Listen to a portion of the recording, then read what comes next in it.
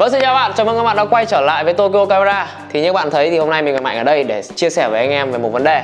Thì Trên bàn anh em đang thấy rồi, uh, Mavic 2 Pro và Mavic E2 Thì có rất nhiều anh em đã đặt ra cho bọn mình câu hỏi là không biết là nên chọn E2 hay là Mavic 2 Pro Cho cái nhu cầu là sử dụng flycam với việc là quay dịch vụ. Đó, Thì hôm nay mình ở trong video này, mình và Mạnh sẽ đưa ra những cái vấn đề và những cái câu hỏi các bạn hay hỏi nhất Để giải thích cho các bạn và sẽ hướng dẫn các bạn chọn là bạn nào nên dùng E2 và bạn nào nên dùng 2 Pro nhá. Còn bây giờ thì vào video thôi. Bắt đầu nha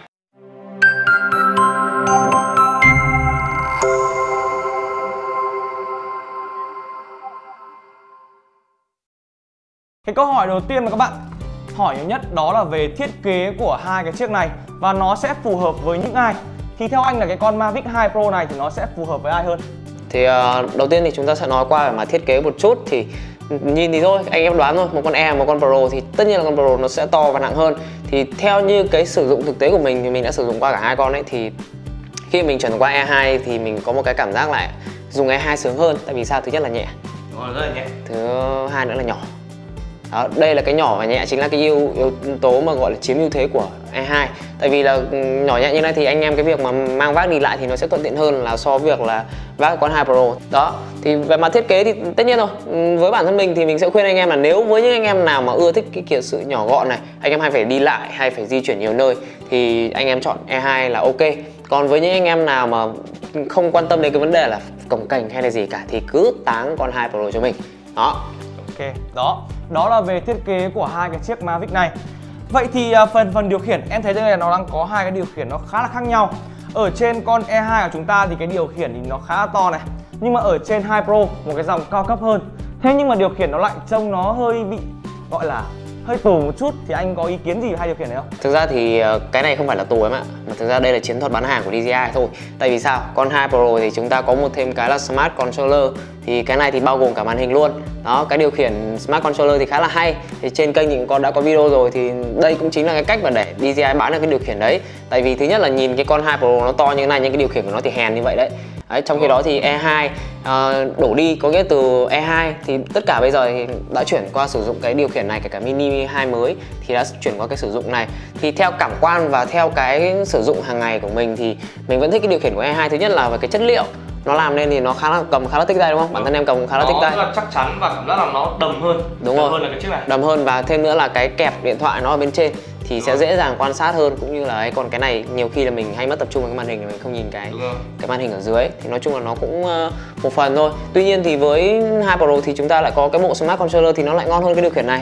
Thì anh bảo rồi thì đây nó chỉ là cái chiến thuật bán hàng của DJI mà thôi. Chứ còn về cái công năng về cái kiểu sử dụng thì hai con này gần như là ngang nhau. Đó, đó là phần điều khiển của hai cái chiếc flycam này. Và khi mà anh em chơi flycam ấy, sẽ có một cái điều anh em thắc mắc là flycam nào an toàn hơn? Vậy thì với chiếc E2 hay là với DJI 2 Pro thì anh Phong thấy nó an toàn hơn? thực ra thì là hai con đều kém an toàn như nhau em ạ. Thực ra là mình nói đùa một chút thôi, thực ra nếu như mà so về mặt thông số và về mặt thiết kế cũng như kết cấu ấy, thì con 2 Pro ngon hơn. Tại vì sao? Thứ nhất là như anh em nhìn thấy thì chúng ta sẽ có hai cái cụm, nói chung là con này anh em gọi chung ấy, là con này có cảm biến đa hướng có là nó sẽ có cảm biến hai bên này cảm biến bên trên cảm biến bên dưới cảm biến trước và cảm biến sau. Rất nhiều con này biến. rất nhiều cảm biến thì anh em có thể bay nói chung là bay khá an toàn. Và thêm nữa là những cái tính năng hỗ trợ về cảm biến ấy thì con 2 Pro ngon hơn. Tại vì nó cho phép là mình ờ, tránh được cái vật khi mình bay mình tránh được. Trên E2 cũng có nhưng mà nó thực sự mình đánh giá thì nó không ngon bằng là là con này. Còn trên đây thì chúng ta còn trên E2 ấy, thì chúng ta sẽ chỉ có trước và sau mà thôi. Đó, cái điều này thì khi mà mình gặp một cái vấn đề là khi mình bay kiểu bay ngang ấy thì con này rất là nguy hiểm, tại vì không có cảm biến. Cái cảnh báo nó không hoạt động được, tại vì nó chỉ trước và sau thôi mà. Thế nên là khi mà mình bay ở phần ngang ấy, mà nhiều khi mà hơi lố một tí là xương nọ nó cũng suy vào cổ điện rồi, thế là mình cũng hơi rén. Thế nên là với những anh em nào mà, kiểu, muốn an toàn một chút, mà muốn ờ, nói chung là không muốn flycam của mình rơi vào những cái tình huống, gọi là dở khóc dở cười mà dở chết dở dở thối như mình ấy, thì tốt nhất là chúng ta nên chơi với hai Pro. Và với mỗi chiếc flycam thì ờ, chúng ta đều có những tính năng nổi bật riêng. Và với như là một chiếc E2 này nó ra mắt sau, ra mắt sau và so với chiếc 2 Pro. Thì theo anh thì nó có cái gì nổi bật hơn chiếc 2 Pro này không? Thực ra thì E2 thì quá là nhiều tính năng? Anh nói thật là nó quá nhiều tính năng. Thứ nhất là xem nào, đầu tiên thì chúng ta sẽ có là Active Track mới hơn 3.0 này. Chúng ta sẽ có Active Track thì chúng ta sẽ có nhiều trò nghịch hơn. Đó và thêm nữa là chúng ta sẽ có quick shot chúng ta có hyperlapse chúng ta có time lapse nói chung là rất rất nhiều tính năng anh em nào mà sử dụng E2 hoặc là đã quan tâm đến E2 rồi thì sẽ biết là con này nó quá nhiều trò để nghịch, nhiều hơn rất nhiều so với cả 2 Pro. Đó, tuy nhiên thì ờ, hiện đại thì hãy điện. Cái câu này thì các cụ nói không bao giờ sai. Thứ nhất là ở cái điều kiện Việt Nam ấy, thứ nhất là trong những cái khu vực như ở Việt Nam, ví dụ như là anh em thường thường sử dụng flycam hay ở nội đô, đúng không? Thì thoảng bay trong nội đô thì những cái tính năng này gần như là không hoạt động được. Đó là cái thứ nhất. Và cái thứ hai nữa là cái tính năng active track ấy, thực ra thì nó cũng đúng là nó hỗ trợ rất là nhiều trong cái việc là mình quay mình quay. Nhưng mà thực sự là nó cũng không gọi là mình cũng không thể lạm dụng được nó quá nhiều. Mình vẫn phải chủ động mình điều khiển. Thì cái này ấy, thì về mặt tính năng số lượng tính năng thì hai Pro thua. Nhưng còn về độ hiệu quả và về độ sử dụng thực tế thì hai Pro lại hơn. Tại vì là trong những cái điều kiện sử dụng như là ví dụ như em đi quay dịch vụ chẳng hạn không phải lúc nào anh em cũng thể dùng đến những cái tính năng quick shot. Là cái thứ nhất cái quick shot đấy anh em chỉ phục vụ cho gia đình anh em kiểu đi chơi, anh em vui vui sử dụng. Ok, cái đấy thì mình không nói. Tuy nhiên nếu như đang, chúng ta đang nói đến cái việc là ở trong cái việc mình sử dụng khi mình đi làm, đúng không? Nghiêm túc. Thì tất nhiên rồi, gần như là những cái active track hay không mình bỏ qua hết toàn bộ, tất cả đều mình phải để xử lý bằng tay. Tại vì mình sẽ chủ động hơn trong cái việc là mình mình mình xử lý cái hình ảnh. Mặc dù nó thi thoảng có những đoạn khớp, nhưng cái cái việc đấy thì nó không ảnh hưởng quá là nhiều. Thì theo anh đánh giá thì những cái bạn nào mà đã muốn sử dụng flycam về trong cái việc là À, đi chơi ấy à, thì hoặc là giải trí sử dụng gia đình thì con E2 này ok hơn bởi vì nó nhiều tính năng vui vui vẻ dùng kiểu vui vẻ. Còn nếu như bạn nào muốn tập trung thực sự chuyên môn vào cái việc là bay fly và hình ảnh thì chúng ta nên chọn về 2 Pro. Đó, đây là một chiếc flycam có thể gọi là cho gia đình thôi nhưng mà nếu anh em mà muốn nó chơi nó chuyên nghiệp hơn nó cao cấp một chút thì chúng ta nên chọn là 2 Pro. Và những cái cuối cùng mà anh em quan tâm ở một chiếc flycam nó vẫn luôn là chất lượng hình ảnh.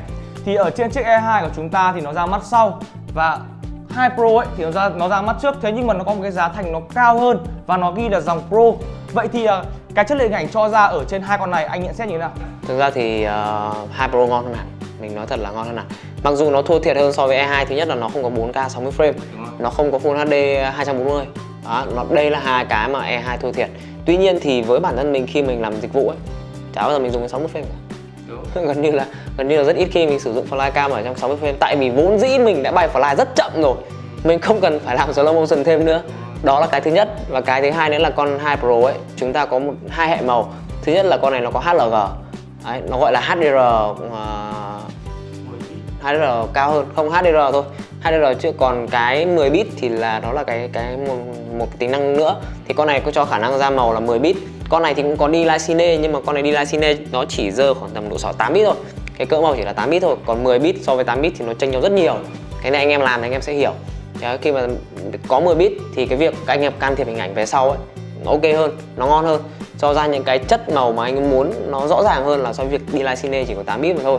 Còn thêm nữa là mặc dù là cái cảm biến uh, con này ra sau đấy con này mới đấy nhưng mà cái cảm biến con này ấy, nó chỉ là một trên hai inch mà thôi còn con này là cảm biến là một inch các bạn nên con này là một inch có nghĩa là gấp đôi con này luôn con này chỉ có một nửa của con này thôi vậy nên là cái việc mà thu cái lượng ánh sáng cái lượng chất lượng hình ảnh đem lại về đầu ra ấy, thì con này chắc chắn là ngon hơn thêm nữa khi mà anh em quay trong điều kiện thiếu sáng ấy con này rõ ràng thua thiệt hẳn tại vì cảm biến một inch nó sáng hơn rất nhiều mặc dù hai con cùng khẩu độ là 2.8 nhưng con này cho ra sáng hơn góc thì có thể hẹp hơn góc con này chỉ có 77 độ. Góc con này anh nhớ không nhầm là 84 ừ, đó thì nó rộng hơn. Nhưng mà nó rộng hơn thì nó không quyết định cái gì cả. Quyết định là cái chất lượng hình ảnh đầu ra thì con này lại cho ra tốt hơn. Về những cái màu sắc về nói chung là những cái thiên về chất lượng hình ảnh thì ok. Chúng ta sẽ bàn về là con 2 Pro cao hơn. Và tổng kết lại thì à, nếu như em đang phân vân giữa E2 và 2 Pro thì mình có một lời khuyên cho anh em như thế này. Đó rằng là nếu như anh em chỉ chơi ở dạng vui vẻ thôi người chơi hệ vui vẻ chúng ta chọn E2 còn nếu như chúng ta muốn nó chuyên nghiệp hơn một chút muốn cái chất lượng hình ảnh nó cao hơn một chút thì mình khuyên anh em là nên lấy 2 Pro thì nó sẽ hơn một chút tiền. Thế nhưng mà cái chất lượng chúng ta mang lại ấy, thì nó sẽ rất là lớn. Đó thì đó. trong video này mình và mạnh cũng đã có một vài câu trả lời. Mong là sẽ giúp anh em lựa chọn được là mình nên dùng E2 hay dùng 2 Pro. Hai con này thì ờ, giá thì mình thôi mình cũng không muốn nhắc giá ở đây thì anh em có thể tham khảo giá phần link mô tả. Mình sẽ để uh, link của hai con này ở dưới phần mô tả cho anh em nhé và đừng quên like và subscribe channel của Tokyo Camera nhé chào anh em.